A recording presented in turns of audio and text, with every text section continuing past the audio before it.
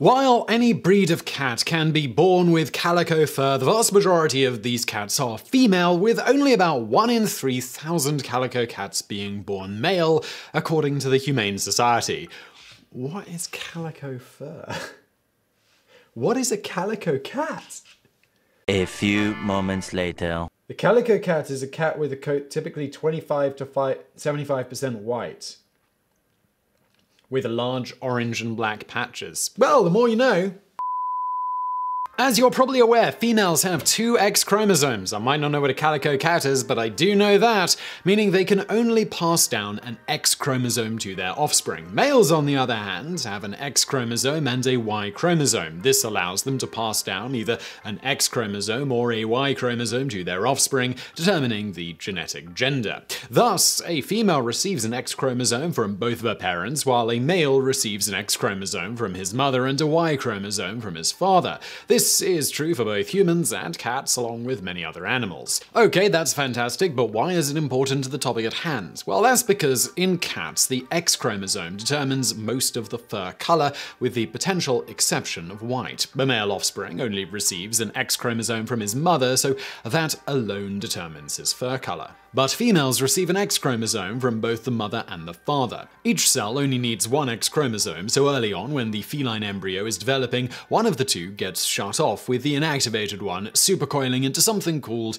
a Barr body. The important thing here is that the same X chromosome does not inactivate for each cell. One cell may shut off the X chromosome from the mother while leaving the chromosome from the father. That cell then creates more cells, each one of which will use the father's X chromosome chromosome to determine the fur color. Likewise, another cell may silence the X chromosome from the father and instead use the chromosome from the mother. So, for instance, if the female offspring receives the chromosome for black fur from both of its parents, she will have black fur. In the case of calico cats, the same process occurs, however, the offspring receives the chromosome for, for instance, black fur from one parent and orange fur from the other. One cell inactivates the chromosome for black fur, resulting in orange fur. Other cells use the chromosome for black fur instead. In both cases, these cells are replicated and the inactivated chromosomes will always stay inactive. Those two colors then combine on the cat's fur to create the orange and black patches of fur. If the cat only has these two colors, it is known as a tortoiseshell cat. The tricolor, calico, or often called tortoiseshell and white outside of North America,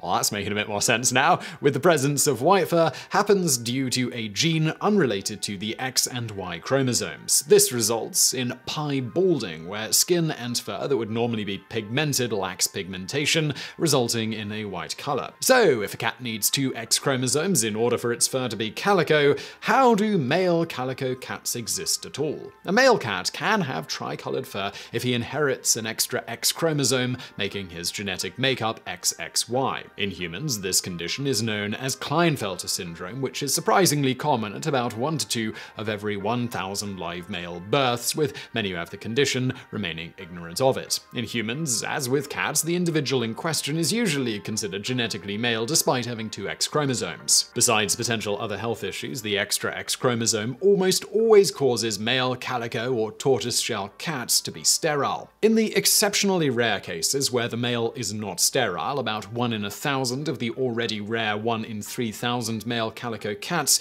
attempting to breed him with a female calico or tortoiseshell will not produce male calico or tortoiseshell kittens at a higher rate than normal, nor would he be more likely to produce male calico or tortoiseshell kittens, as he would almost certainly only pass on his Y chromosome to the male offspring, excepting potentially in the once again exceptionally rare XXY cat. For this reason, and potential other health problems with the cat, even when these rare fertile male calico or tortoiseshell cats do pop up, they are almost never used for breeders as there are simply no advantages and some disadvantages to using them over virile felines. And now for a bonus fact. Catnip, which is a perennial herb in the mint family, contains a chemical called nepetalactone that is released when catnip is crushed. When cats get a whiff of nepetalactone, most will start rubbing themselves against it, playing around with it, sometimes eating it, and generally just acting a bit bizarrely. It is hypothesized that this chemical mimics certain feline pheromones, specifically their theoretical facial pheromones. It isn't known whether these actually exist, but many researchers do think so, which is why cats probably like to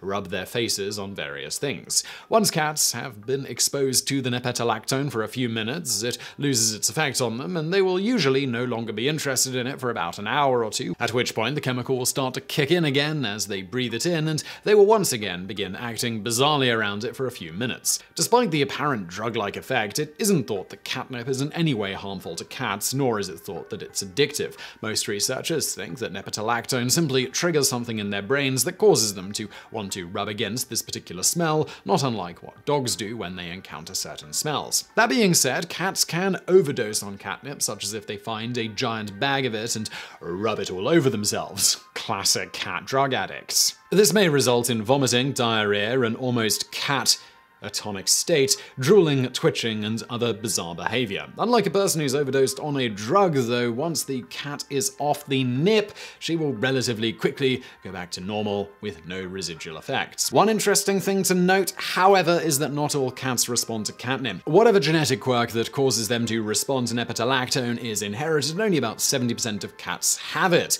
Further, cats under the age of a few weeks old are also not attracted to catnip, and some even show an aversion to it. Not only are very young cats sometimes averse to catnip, but so are cockroaches, mosquitoes, flies, and termites. In fact, nepetalactone has been shown to be 10 times more effective at repelling mosquitoes than DEET. N-diethyl-meta-toluamide, maybe? Which is the chemical traditionally used in mosquito repellent. However, it should be noted that when put on human skin, nepetalactone's effectiveness as a mosquito repellent decreases quite a bit, so it's more suitable as a mosquito repellent when it's sprayed on clothing or the like.